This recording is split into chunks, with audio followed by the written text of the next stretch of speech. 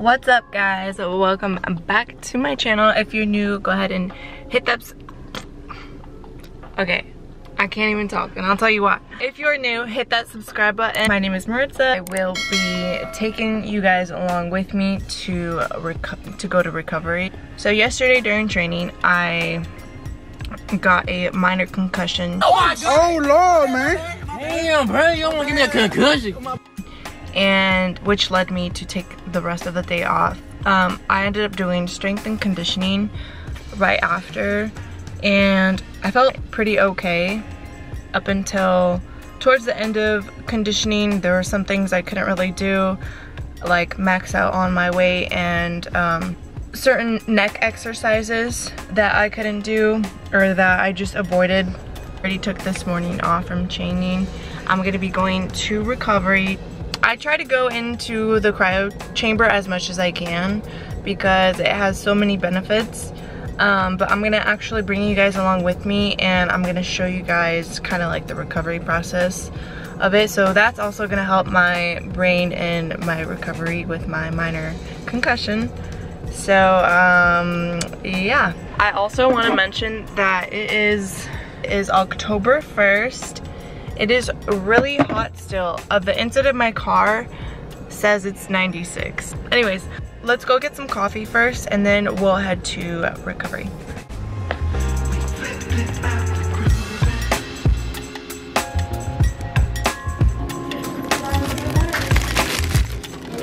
So I've got a caramel, iced caramel macchiato. Where's my straw? So You can never go wrong with this, especially from Peet's. Perfect. I am starting to notice my head feel a little bit heavy again and I think it's because of the sensitivity from the light from the sun and everything. Hopefully it goes away pretty soon.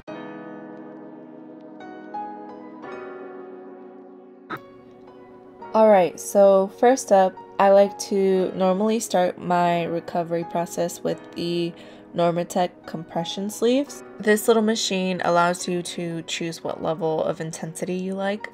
You can also choose how long you'd like to go for and whether you're doing legs or hips. Today I'm only doing legs. So the compression sleeves accelerates recovery and rejuvenates the body by flushing lactic acid, re reducing inflammation and water retention. It also improves blood circulation and reduces minor muscle aches and pains.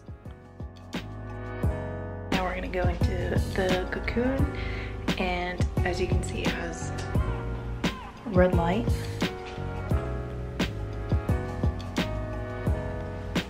So I'm going to lay in there for about 30 minutes and then we're going to go hop into the cryo chamber. So this cocoon, I love this cocoon so much. I have fallen asleep in here before. it's basically a red light therapy massage bed um, and you can choose the intensity of the massage and the heat. Today I went light because of my concussion. This is good for relaxation, stress management, uh, mental health, nervous system reset, and is also good for a good night's sleep. I like to use this one to two times every other week.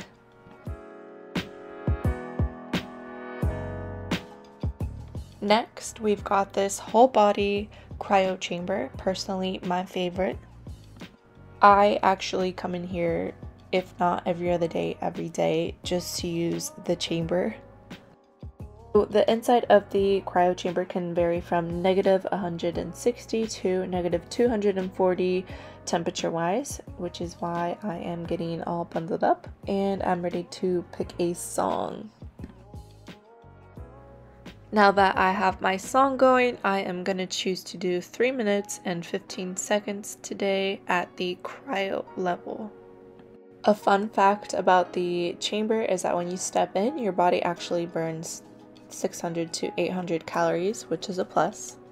Your body quickly produces new blood cells, enzymes, endorphins, dopamine, and serotonin. So, a lot of benefits from this. Um, this also helps me to strengthen my immune system and just overall help me to quickly recover from training and all my muscle aches and pains. This also helps with prevention of dementia, which is why this is good for me right now because of my current concussion. um, and it also helps if you happen to have arthritis or to prevent arthritis.